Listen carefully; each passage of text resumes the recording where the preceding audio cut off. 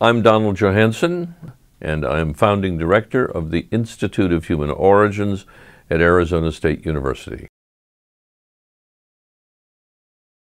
Well, we didn't know exactly where we would find Lucy. We knew that the Great Rift Valley of East Africa, which has been a source of fossils to many, many expeditions, was a very good place to look because it was a deep canyon down into ancient layers of rock, particularly lakes and river deposits. And a archaeologist, geologist, by the way, a geologist, French geologist, had been surveying in the northeastern part of this great rift valley in Ethiopia, which is known as the Afar Triangle.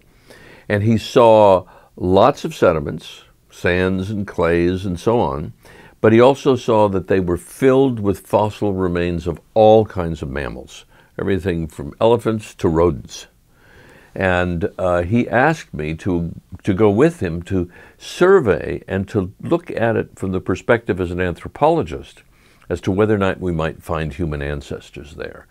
And I made that prediction in 1972. And in 1973, we began to find remains of some of our earliest ancestors that lived between three and three and a half million years ago.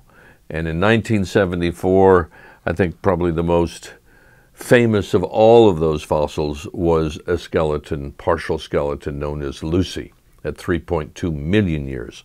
This is a, a, reconstruction of what her skull might have looked like. We now have complete skulls of her species.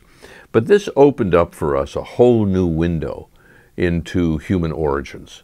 So we didn't know exactly where to look, but we knew that looking in lake and river deposits was a very good possibility because there were so many mammal fossils that were already found in those layers.